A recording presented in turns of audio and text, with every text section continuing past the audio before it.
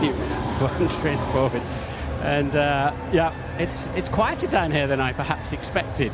Oh, and that's till we get to this next bit, of course. And um, yeah, this is it. We're getting towards the front of the grid, the sharp end. And uh, as I say, when when all these people move off the grid, hang on a minute, what's going on here? Excuse me, please. Excuse me. So what we got going on here? What we've got going on is some work going on on the front brakes. Um, here we go.